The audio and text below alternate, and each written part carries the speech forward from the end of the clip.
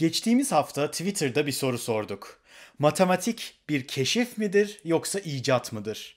Bir diğer deyişle matematik evrenin dokusunda gerçekten de var olan bir olgu ve biz onu keşfediyor muyuz? Tıpkı bir çiçeğin bugüne kadar hiç keşfedilmemiş olmasına rağmen ıssız bir adada yaşıyor olması ve bir biyoloğun bunu nihayetinde keşfetmesi gibi. Yoksa matematik aslında evrende var olan bir şey değil de biz ihtiyaçlarımız doğrultusunda onu yaratıyor ve icat mı ediyoruz? Tıpkı uzun mesafeleri kat etmek için atları keşfetmemiz ama arabaları icat etmemiz gibi. 40 binden fazla okurumuz bu sorumuzu yanıtladı ve rastgele cevaplanacak olsa bekleyeceğimiz %50-50 dağılımdan ziyade %67'ye %33'lük bir dağılım ile matematiğin keşif olduğuna dair bir eğilim gördük. Bir anketi de YouTube üzerinden yapacağız. Dolayısıyla yukarıdaki butona tıklayarak siz de dahil olabilirsiniz. Bu sorunun nihai bir cevabını vermek mümkün değil. Çünkü filozoflar ve bilim insanları, özellikle de fizikçiler ve matematikçiler arasında halen tartışılmakta olan çok ilginç bir soru.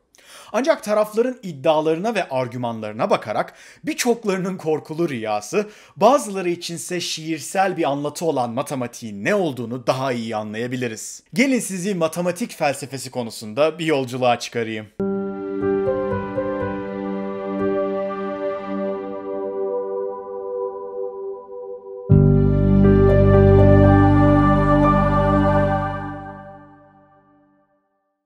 Başlamadan önce Patreon, Kreosus ve YouTube katıl destekçilerimize teşekkür etmek istiyorum. Evrim Ağacı'nda yaptığımız çalışmaların tamamı bizim yegane mesleğimiz ve sizlerden gelen destekler haricinde herhangi bir stabil gelir kaynağımız bulunmuyor. Dolayısıyla başka iş güç ile uğraşmadan Türkiye'de bilim anlatıcılığı çalışmalarımızı sürdürmemizi ve geliştirmemizi faydalı buluyorsanız, bütçenize zarar vermeyecek bir destek düzeyiyle ekranda gördüğünüz maddi destekçilerimiz arasına katılabilirsiniz. İhtiyacınız olan bağlantıları video açıklamasında ve yorumlarda bulabilirsiniz. İlk olarak matematiğin keşif olduğunu düşünenlerin, yani keşifçilerin iddialarıyla başlayalım. Ne dersiniz? Bu konudaki en bariz argüman, matematiğin fiziksel olguları tanımlamak konusunda akıl almaz düzeydeki başarısı. Örneğin doğadaki kütle çekim yasasına yönelik olarak Newton'un geliştirdiği yer çekimi veya kütle çekimi teorisi 10 milyonda bir hassaslığa sahip. Einstein'ın görelilik teorisi aynı yasayı 100 trilyonda bir hassaslık ile açıklamayı başardı. Benzer şekilde elektron gibi atom altı parçacıkların ne olduğunu izah eden Dirac denklemi öylesine hassas bir şekilde kuarkların yapısını tanımlıyor ki Feynman'ın deyişiyle bu hassaslığı mesafe ölçmekte kullansaydık New York ile Los Angeles arasındaki mesafeyi bir insanın tek bir saç telinden daha düşük bir hata payıyla ölçebilirdik. Fiziksel gerçeklikle bu kadar isabetli bir şekilde ilişkili olması matematiğin doğal bir gerçeklik olduğunu düşünmemize neden oluyor. Keşifçiler şöyle diyorlar. Matematiksel bir gerçek biz onu ispatladığımız için gerçek değildir. Kimse o gerçeği ispatlamamış olsaydı da matematiksel gerçekler gerçek olurdu. Büyük fizikçi Roger Penrose bu konuyu şöyle özetliyor. Ben matematiği jeoloji veya arkeoloji gibi görüyorum. Doğada olan bir şeyleri araştırıyorsunuz ve asırlar milenyumlar, çağlar boyunca orada var olan gerçekleri ilk defa gün yüzüne çıkarıyorsunuz. Ortaya çıkardıklarınız son derece harikulade şeyler oluyor. Matematikte de yaptığımız budur. Keşifçilerin ikinci büyük argümanı matematiğin tahmin gücü. Birçok konuda matematik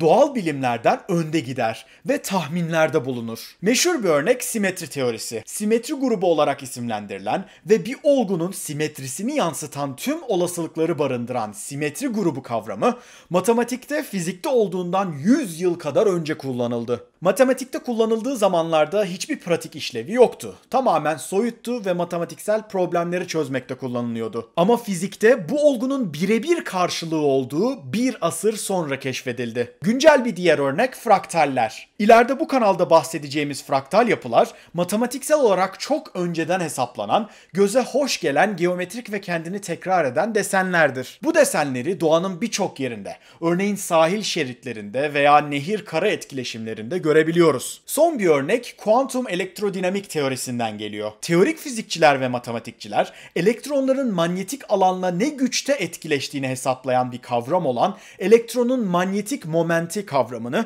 matematiksel olarak trilyonda bir hata payıyla önceden hesaplamayı başardılar. Sonradan yapılan fiziksel ölçümler matematiksel öngörülerle birebir uyuştu. Zaten teorik fiziği bu kadar güçlü kılan da bir yerde matematiğin gücü aslında. Hatta matematiğin bu abartılı isabetliliği bilim felsefesinde matematiğin mantıksız derecede isabetliliği olarak biliniyor. Büyük fizikçi Steven Weinberg bu konuda şöyle diyor. Matematikçilerin bilim insanlarından önde gitmeye yönelik bu ürkütücü başarıları Neil Armstrong'un aya ayak bastığında orada Jules Verne'in ayak izlerini bulması gibidir. Matematiğin keşif olduğu yönündeki bir diğer argüman matematiğin bilimin sadece dili olduğu yani gerçek bir evrensel olgu olmadığına yönelik eleştiriye cevaben geliştirilmiştir. Matematik keşiftir diyenlere göre matematiğin bir dil olması onun gerçek olmadığını göstermez. Çünkü matematik evrenin dili olsa bile bu dilin bir kısmını çözdüğümüzde evrenin geri kalanı hakkında çok sağlam fikirler elde edebiliyoruz. Yani insanlara ait bir dil olan hieroglifleri çözdüğümüzde dilin geri kalanını çözebilmemiz gibi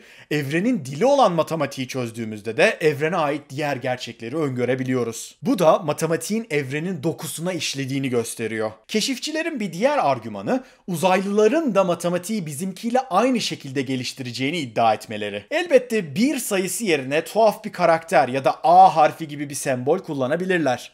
Ama nihayetinde her nerede keşfedilirse keşfedilsin matematiğin ifade ettiği kavramlar bizimkiyle birebir aynı olacaktır. Tabii ki bunu test etmek mümkün değil. Sonuçta dünya dışı bir yaşam tanımıyoruz. Ama eğer bir gün uzayda zeki yaşamı keşfedersek onlara sorup göreceğiz. Keşifçiler az sonra iddialarına değineceğimiz icatçıların argümanlarına karşı şunu da söylüyorlar. Matematiğin tamamının gerçek olmaması, yani bazı kısımların gerçek, fiziksel dünyada karşılıklarının olmaması matematiğin evrenin dokusunda bulunan gerçek bir olgu olmadığı anlamına gelmezdi. Çünkü bizim evrenimiz matematiksel olarak tanımlanabilir evrenlerden sadece birisi olabilir. Ancak matematiksel olarak tanımlanabilir her şey bu evren içinde bulunmak zorunda değildir. Örneğin Platon paralel yüzlü platonik katıları keşfetmiştir. Bunlar tam 5 adettir.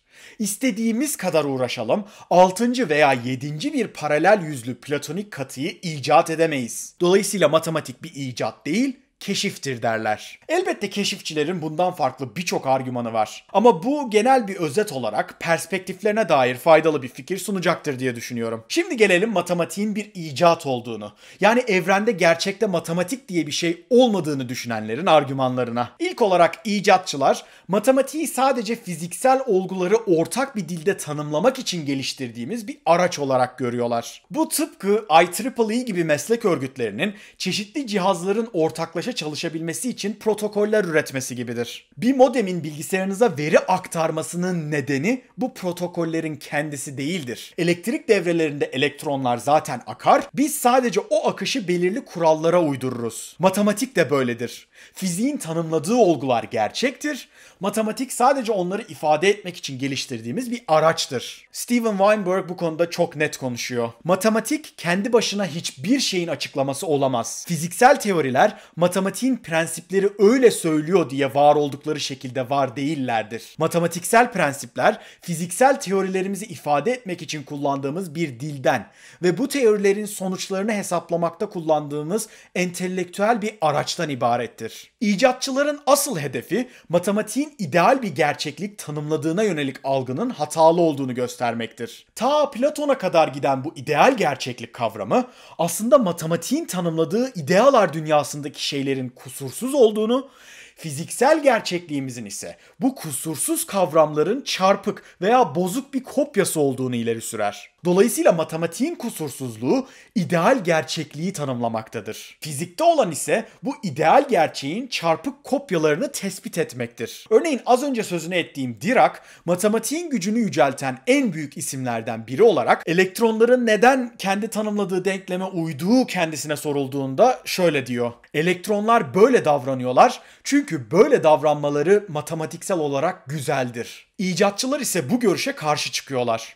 onlara göre fizik gerçektir. Matematik ise o fiziksel gerçekliği tam olarak tanımlayamadığı için kusursuz bir versiyonunu tanımlayan bir izahtır. Bir yakınsamadır.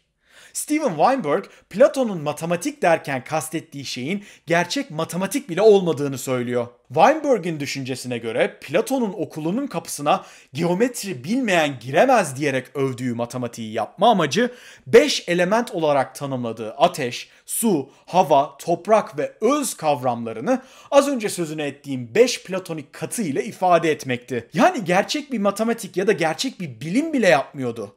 Dolayısıyla matematiğinin ideal ve mutlak bir gerçeği tanımladığını düşünme hatasına düşmesi çok normaldi. Benzer şekilde günümüzde elektronların Dirac denklemi ile ifade edilmesinin nedeninin elektronların denkleme uymasının matematiksel olarak güzel olmasıyla ilgili olmadığını biliyoruz. İcatçıların en ilginç argümanlarından birisi matematiğin bir icat olduğunu deneysel olarak ispatlayabileceğimiz fikri. Bu görüşün en güçlü savunucularından biri olan, bugüne kadar geliştirilmiş en kapsamlı matematik yazılımlarından biri olan Matematika'nın mucidi Stephen Wolfram bunu ispatlamak için şu soruyu soruyor. Farklı matematikler mümkün mü? Yani günümüzde matematikçilerin kullandığı matematik var olabilecek tek matematik türü mü? Yoksa tamamen farklı matematik sistemler inşa etmemiz mümkün mü? Bu sorular üzerine düşünmesi oldukça ilginç. Çünkü bizim matematiğimizin evrendeki tek olası matematik olduğuna yönelik çok güçlü bir sağduyumuz var. Halbuki matematiğimiz tarihimizin bir yan ürünü. Yani yanlışlıkla bu şekilde ürettiğimiz bir matematik olabilir. En azından Wolfram'ın iddiası bu yönde. Bunu ispatlamak içinse var olan matematiğimizin tümünün dayandığı aksiyomların bir listesini çıkardı. Aksiyomlar bariz bir şekilde doğru olan, genel geçer olarak kabul edilen ifade veya önermelere verdiğimiz bir isim. Bütün matematiğimiz sadece 1-2 sayfalık bir listeye sığdırılabilecek sayıda aksiyom üzerine inşa edilmiştir. Sonrasında bilgisayarları kullanan Wolfram bu aksiyomların olası listesini otomatik olarak genişletti ve iç tutarlılığa sahip yeni matematiksel kombinasyonlar inşa edilip edilemeyeceğine baktı. Ve sonuç şaşırtıcı. On binlerce yeni matematik icat etmek mümkündü. Örneğin mantık kadar temel bir sahanın bile on binlerce olası mantık sahasından sadece biri olduğunu iddia ediyor. Bu diğer matematikler bizim matematiğimizden farklı çalışıyor. Örneğin bizim matematiğimizde karşılaşılan Fermat'ın son teoremi ya da Riemann hipotezi gibi aşırı zor soruların bazılarını bu diğer matematiklerde bulmuyoruz. Ama o matematiklerin de kendine has problemleri var. Ama Wolfram'ın iddiasına göre farklı matematiklerin mümkün olduğu gerçeği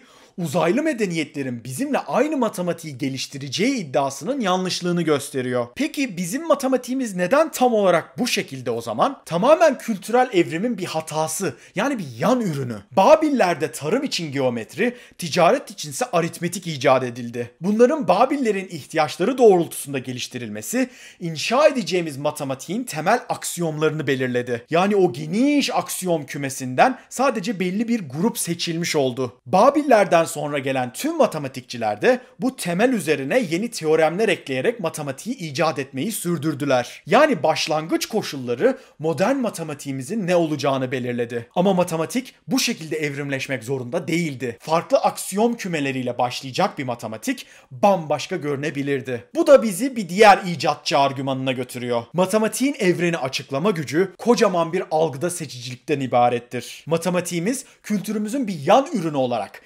ihtiyaçlarımız doğrultusunda şekillendirildiği için matematikçiler de bir sonraki zor soruyu seçerken elde var olan teoremlerden yola çıkarak bir sonraki basamağı belirlerler. Bu basamaklar çözülmesi zor olan ama imkansız olmayan sorulardan seçilir. Halbuki Wolfram'ın iddiasına göre elimizdeki matematik sayesinde geliştirebileceğimiz rastgele soruların ezici çoğunluğu çözmesi imkansız olan sorunlardır. Ama matematikçiler çözmesi imkansız olan bu problemleri itinayla elerler ve sadece çözme potansiyelimiz olan sorulara odaklanırlar. Bu da matematiğin zor sorularının nihayetinde çözülmesinin ana nedenidir. İcatçıların iddiasına göre aynı algıdaki seçicilik doğaya bakıp matematik gören insanlar için de geçerli. Mesela az önce sözünü ettiğim fraktal örneğini ele alalım. Çok basit denklemlerin doğurduğu karmaşık sistemler olan fraktallerin doğada bulunması matematiğin doğal bir gerçeklik olduğu anlamına gelmez. Çünkü her sistemin kendiliğinden gelişen yani emergent özellikleri olabilir. Mesela Mesela satrancı düşünün. Satranç kesinlikle insan icadı olan bir sistem. Tüm kuralları insanlar tarafından uyduruldu öyle değil mi? Buna rağmen her satranç oyununda beklenmedik bir kombinasyon son derece basit kurallar olan satranç kurallarından doğabilir ve tüm profesyonel satranç oyuncularını şaşırtabilir. Basit kuralların bir araya gelmesiyle oluşan sonsuz miktarda kombinasyon vardır ve bunların çok küçük bir kısmı ilgi çekicidir ve doğayla örtüşen yapıdadır. Doğa bilimciler matematiğin doğada karşılığı olan bu spesifik ama ilginç sorulara odaklanarak geliştirdiğimiz sistemin sanki muazzam açıklayıcı gücü veya eşsiz bir iç tutarlılığı varmış zannederler. Bu kendimizi kandırmaktan başka bir şey değildir. İcatçılar buna keşifçilere gönderme olması için matematiğin mantıklı derecede isabetsizliği derler. Evrimsel biyolojiye de son derece hatalı bir şekilde uyarlanan sonsuz maymun teoremini düşünün. Bunu ve bu teoremin bilimdeki sonuçlarını ilerleyen videolarda anlatacağım. Dolayısıyla kanala abone olmak için bu harika bir fırsat. Ama özünde bu teorem şunu söylüyor. Sonsuz sayıda maymun daktilonun tuşlarına rastgele basacak olursa veya sınırlı sayıda maymun sonsuz bir süre boyunca daktilo tuşlarına rastgele basacak olursa Shakespeare soneleri kaçınılmaz olarak bir noktada ortada çıkacaktır. Bu maymunların bilinçli bir şekilde sone yazdıkları anlamına gelmez. Biz o sonsuz olasılık içerisinde Shakespeare sonelerini aradığımız için o rastgelelik içerisinde düzen görürüz. Matematikçi Derek Abbott bunu şöyle anlatıyor. Matematik gerçekte olanın bir yakınsamasından ibarettir. Eğer matematiksel modellerimiz başarısız olacak olursa ihtiyaç duyduğumuz matematiği geliştirecek biçimde elimizdeki modelleri revize ederiz. Analitik matematiksel ifadeler insan zihninin insan zihni için uydurduğu ürünlerden ibarettir. Zihinsel becerilerimiz kısıtlı olduğu için tahminlerde bulunabilen zarif matematiksel tanımlara odaklanmaya meyilliyiz. Bu öngörüler isabetli olmak zorunda değildir ve her zaman deneysel doğrulamaya muhtaçtırlar. Örneğin modern teknolojide transistörlerin büyüklüğü giderek küçülürken daha küçük, ultra küçük transistörler için elimizde olan matematiğin yeterli olmadığını gördük. Bu nedenle analitik matematiği terk ederek bilgisayar simülasyonları ile deneme yanılma yolunu tercih ettik. Günümüzdeki mühendislik atılımlarının çoğu da bu şekilde yapılıyor. Bu argümandan yola çıkan icatçıların bir diğer argümanı matematiğin doğada var olduğu sanrısının bir döngüsel mantık safsatası yani hüsnü kuruntu olduğu iddiasıdır. Bu safsata şöyle der. Doğada çözmeyi ve matematiksel olarak ifade ifade etmeyi başardığımız şeyler elimizdeki matematiğin çözmemize izin verdiği ya da çözmeye uygun olduğu sorulardan ibarettir. Yani doğa bilimciler doğaya bakıp da nasıl matematiksel modeller geliştirebileceklerini düşündüklerinde kaçınılmaz olarak elde var olan matematikle geliştirebilecekleri sistemlere odaklanmak zorunda kalırlar. Neredeyse hiçbir zaman bunu bilinçli bir tercih olarak yapmazlar. Ellerindeki matematiksel alet kısıtlılığı onları buna zorlar. Bir diğer deyişle doğada henüz çözmeyi başaramadığımız soru işaretlerinin büyük bir kısmı belki de icat ettiğimiz matematiğin yetersizliklerinden kaynaklanıyor. Başka matematikleri kullanıyor olsaydık o soruları daha kolay modellememiz ve çözmemiz mümkün olurdu. Ama belki de bu defa şu anki matematiğimizle çözebildiğimiz bazı soruları o matematikle çözememiş olacaktık. Buna bir örnek olarak plazma fiziği verilebilir. Plazma fiziği elektronları bağımsız olarak hareket edebilen gazları inceleyen bir fizik dalı. Henüz gazların ve elektronların bu davranışını tam olarak izah edebilen, güzel diyebileceğimiz matematiksel bir teorem üretemedik. Eldeki matematik hasbel kader ve son derece karma karışık bir şekilde bu süreçleri tanımlamaya çalışıyor. Dolayısıyla bu konuda bir eksiğimiz bulunuyor demektir. Bu eksik matematiğimizin yanlış matematik olmasından kaynaklanıyor olabilir. Ancak daha önemlisi bu konuda güzel bir matematiksel denklem geliştirebilecek olsaydık bile bu plazma o matematiğe uyduğu için değil, biz o davranışı nihayetinde daha yalın bir matematiksel ifadeye dönüştürebildiğimiz için bu denklem geliştirilmiş olacaktı. Yani yine matematiği gerçeğe göre icat etmiş olacaktık. Yani anlayacağınız matematikte durmaksızın yeni teoremler geliştiriliyor ve yeni ispatlar yapılıyor. Bunların bir kısmı fiziksel gerçekliklerle örtüşüyorsa bunlar o fiziksel gerçekleri tanımlamak için kullanılıyor. Ancak geri kalan kısmının fiziksel bir karşılığı yok ve hatta olamaz da. Dolayısıyla icatçılara göre doğada matematiğin olduğunu söylemek hatalı. İcatçıların bir diğer meşhur argümanı matematiğin bir dil olmasının onun gerçek olmadığının bir ispatı olduğudur. Örneğin 2 artı 2'nin 4 olması onu o şekilde tanımlayan kişiler olmaksızın mümkün değildir. Bunu düşünmesi birazcık zor. Ancak absürt örneklerden yola çıkarsanız bunu anlayabilirsiniz. Diyelim ki elma ile arabanın eklenmesi tuğlaya eşittir.